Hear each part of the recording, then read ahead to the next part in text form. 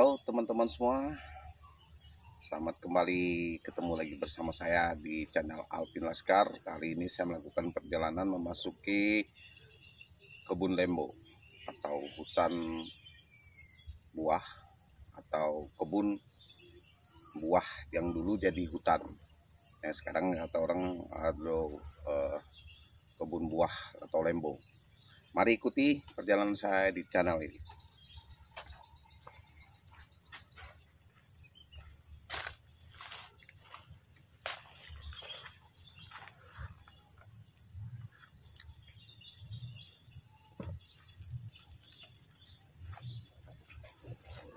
Oke teman-teman, saya ada di kebun buah.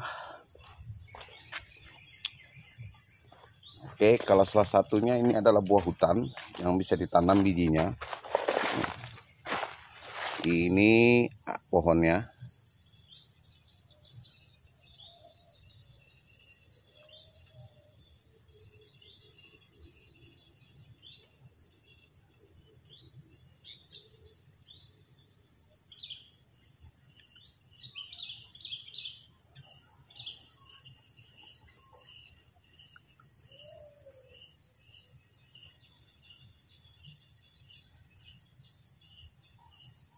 Teman-teman semua ini adalah namanya pohon buah tarap. Kalau orang Kalimantan sebut namanya ini adalah pohon buah tarap. Buahnya sangat manis bijinya kecil-kecil dan buahnya juga agak lumayan besar. Nah. buah tarap ini mirip dengan sukun tetapi dia berbiji. Ya, buahnya di dalam sekarang tidak berbuah. Sangat besar ini. Ini umurnya sekitar 25 tahun pohon ini. Nah, seperti saya bilang tadi saya akan memasuki kebun buah yang jadi hutan karena buahnya sudah besar-besar dan banyak. Ini pohon buah rambutan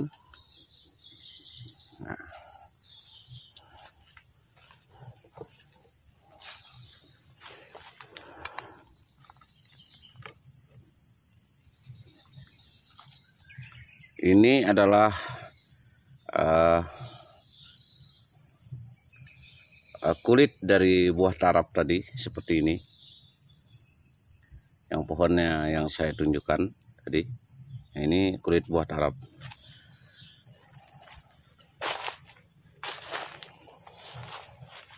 Nah ini adalah kebun buah salak. Kita harus waspada hati-hati karena di sini juga masih banyak binatang seperti monyet, beruang, dan yang lain-lain. Ini adalah kebun buah orang zaman dulu yang udah puluhan tahun dalam. Kalau ini uh, pohon langsat pohon langsat ini mirip seperti pohon duku.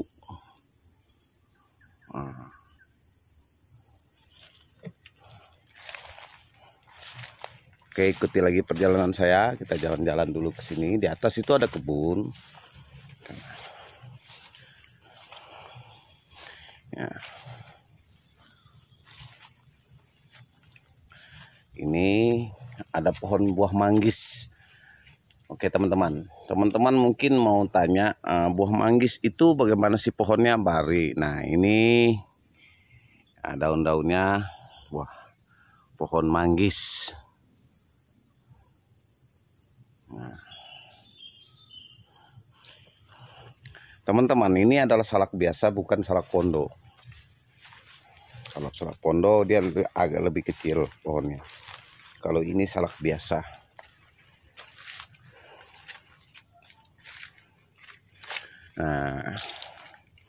Kita ada di pohon buah manggis.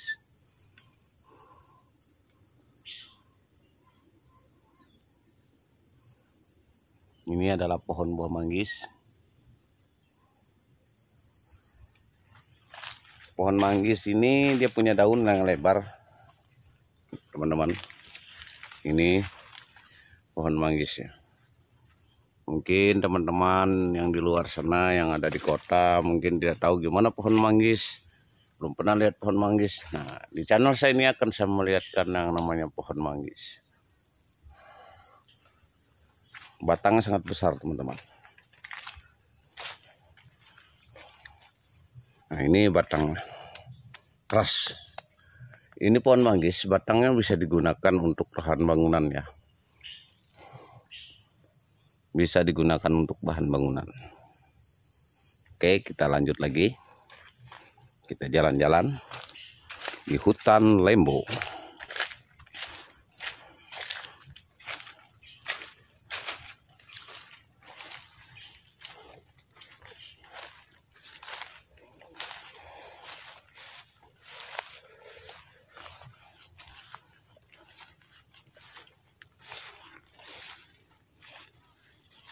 inilah yang disebut hutan lembo dan bisa dikebunin. Nah, itu ada anjing.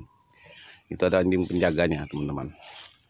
Yang punya ini uh, memiliki anjing dan dijaga. Oke teman-teman. Ini salah satu pohon tarap tadi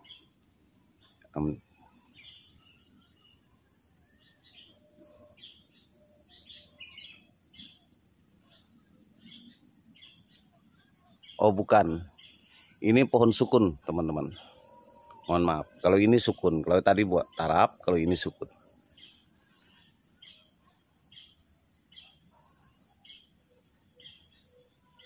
Itu langsatnya besar-besar. Tapi ini bukan duku ya. Tapi ini langsat. Langsat itu sama dengan duku. Modelnya.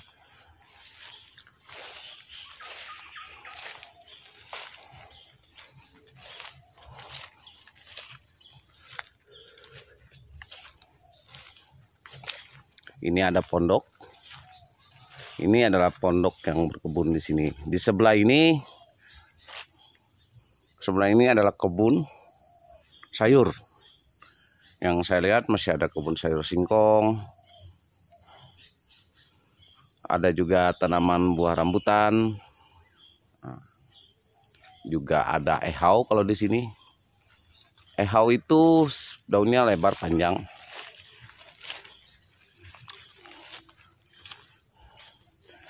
teman-teman bisa lihat. Itu adalah ehau. Nah daun ehau itu disebut mata kucing. Ya.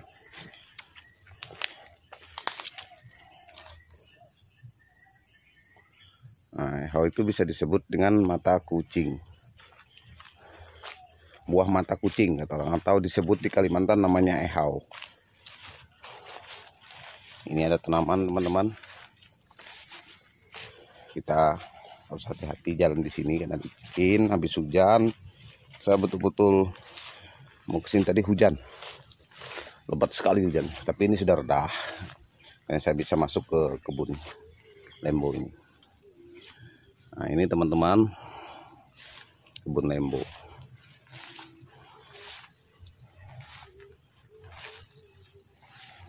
nah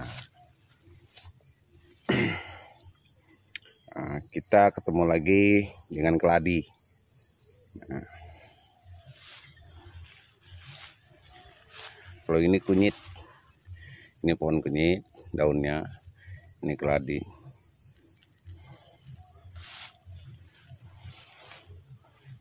Kalau ini disebut kelurang ini. Kalau ini terungnya kecil-kecil atau disebut terang uh, terjepang. Kalau apa? Terung Jepang. Nah, itu. Ini seperti ini.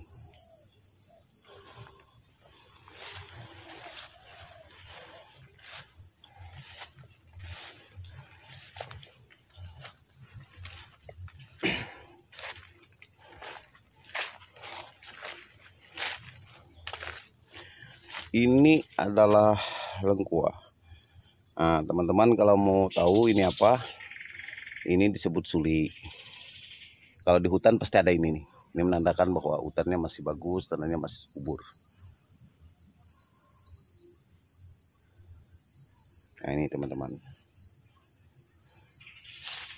Nah ini mungkin pada sempat tahu ini yang namanya naka Belanda atau sirsak ini pohonnya.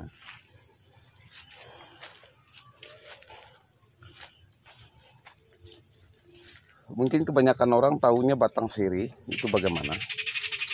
Ini siri nah ini uh, dia punya ini di batang ulin tumbuhnya. Untuk dia. Ini beginilah batang sirih teman-teman dia akar. Dan dia menjalar. Ini adalah sirih. Ini sirih yang putih bukan sirih merah. Merah sirih itu ada dua macam sirih yang merah. Kalau dia yang merah teman-teman uh, di sininya merah-merah. Nah, kalau ini dia putih semua. Ini sirih manis oke kita lanjut lagi.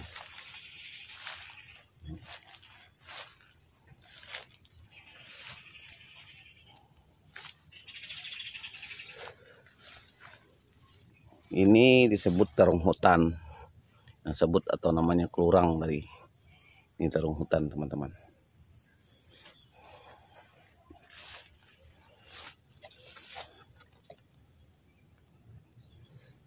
Oke teman-teman saya berada di atas tadi.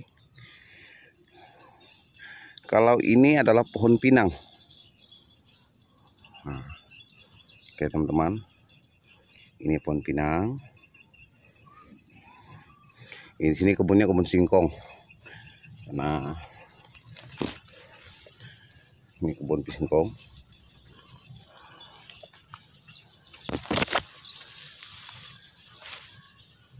singkong mulu di sini. Pokoknya kebunnya singkong.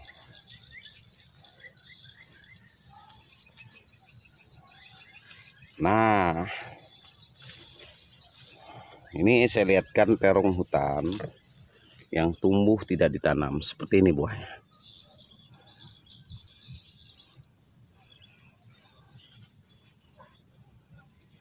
Ini terong hutan. Dia tidak ditanam tapi dia tumbuh sendiri setelah dia berbuah udah tua dia matang uh, bijinya akan jatuh-jatuh di mana-mana. Ini terong hutan.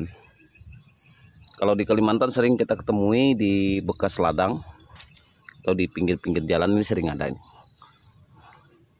Ini buahnya bisa dibikin sayur teman-teman. Enak sekali ini kalau dibikin sayur.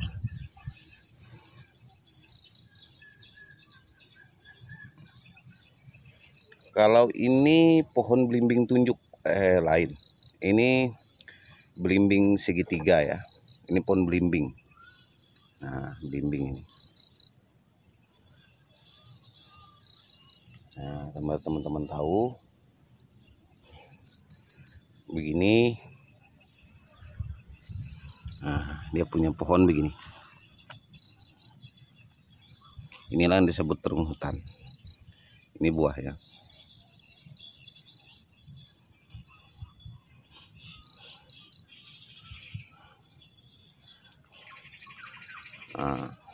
teman-teman saya berada di tengah-tengah hutan di kebun di tengah-tengah hutan. Nah, bisa dilihat semua. Ini hutannya.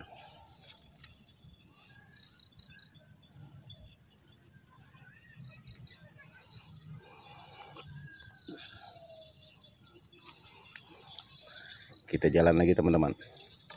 Jalan ini sangat licin kita mau keluar di situ juga ada pohon aren. Kita mau lihat ke bawah lagi.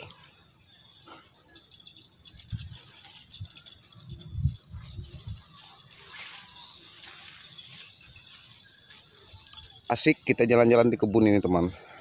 Suasana tenang. Kita bisa menikmati suara suasana suasana burung suara jangkrik yang ada di hutan ini. Ini luar biasa teman-teman.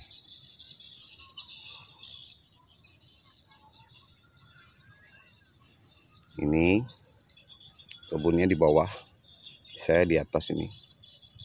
Nah, ini kebunnya. Ini jalan kita tadi itu masih hutan kiri kanan. Saya berada di tengah-tengah. Oke kita turun ke bawah. Lihat sendiri jalannya becek. Ya habis hujan. Jadi harus ekstra hati-hati lewat sini. Saya juga nggak tahu lewat mana baliknya ini. Sambil mencari jalan. Karena kita harus berhati-hati. Uh, kita harus berhati-hati masuk di sini. Jalannya sangat licin licin banget jalannya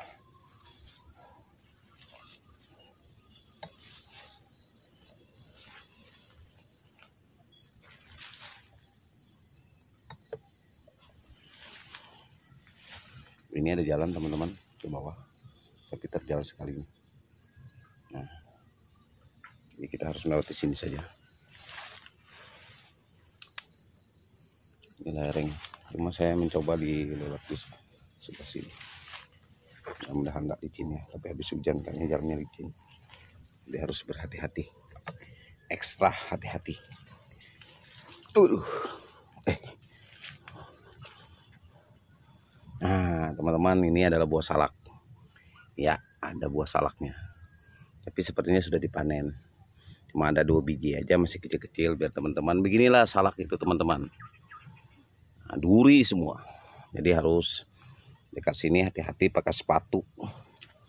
Karena duri salak itu sangat tajam. Nah, perjalanannya pun, aduh, sangat licin kalau terguling kita akan kena di duri salak itu badan kita akan ditusuk oleh duri-duri salak yang tajam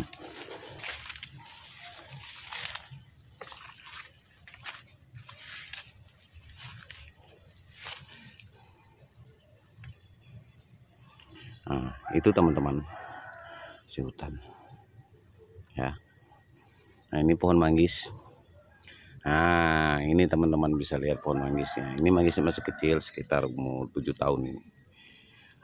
7 tahun, 8 tahun ini pohon manggis. Tapi ini sudah mulai bisa berbuah. Pohon manggisnya. Ini daun. Daunnya.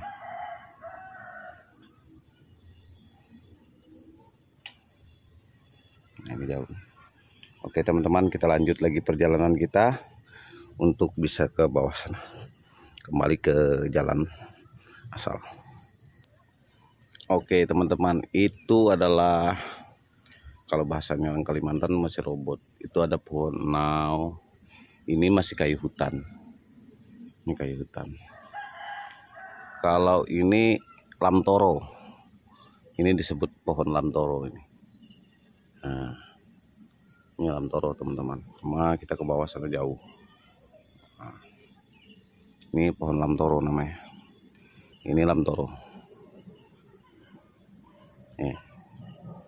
Nah. Itu pohon lam toro. Nah itulah teman-teman pohon lam toro itu. Nah, kita masih berada di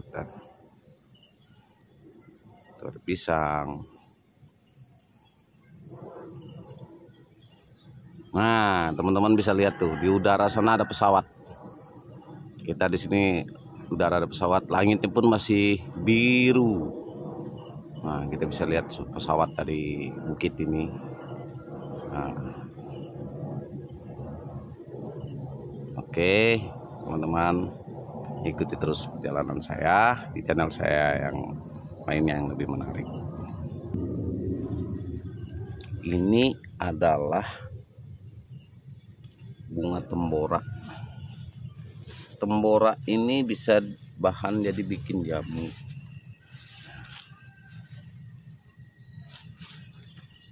Teman-teman bisa lihat.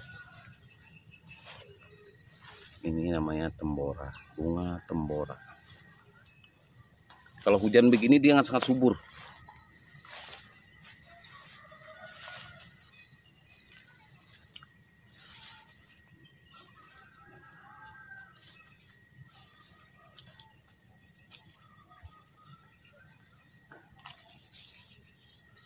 Oh, bunga berbunga semua nih. Tembora ini. Tembora ini daunnya salah satunya bisa dijadikan jamu. Jadi begini.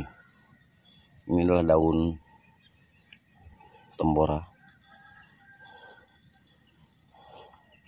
Biasanya kalau ibu-ibu di rumah bakal tahu nih buat tembora ini untuk apa oke teman-teman. Lanjut lagi ya. Oke teman-teman. Saya berada di bawah.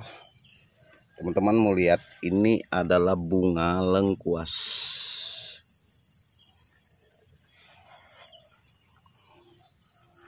Kita akan lihat.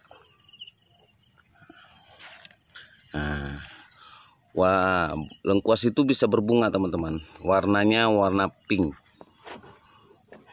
pink ya. Nah, warna pink. Bunganya sangat bagus. Ini lengkuas. Lengkuas itu daunnya panjang-panjang begini. Nah bunga lengkuas.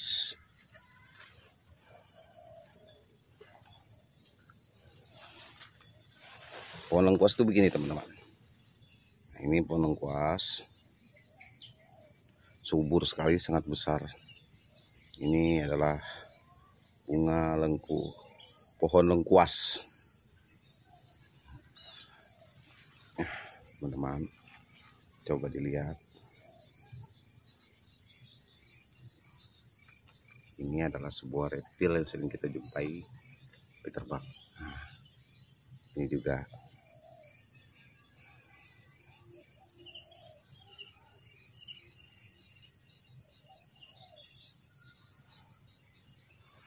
inilah perjalanan kita tadi.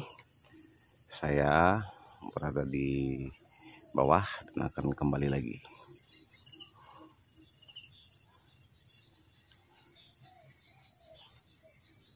Oke teman-teman saya kembali menjelaskan tentang bunga lengkuas.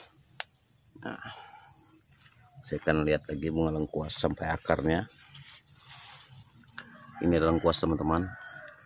Mungkin teman-teman mudah-mudahan yang pernah melihat bunga lengkuas seperti ini yang belum begini dia.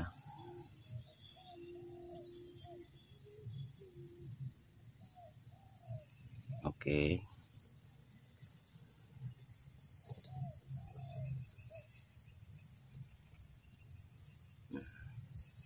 Atau begini teman-teman.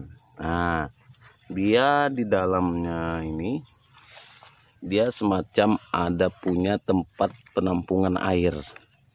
Ini. Ini adalah tempat penampungan air. Oke teman-teman. Mungkin sekian dulu tentang bunga lengkuas. Saksikan saya akan menjelaskan tentang bunga-bunga di hutan apa pun tumbuhan yang di hutan lagi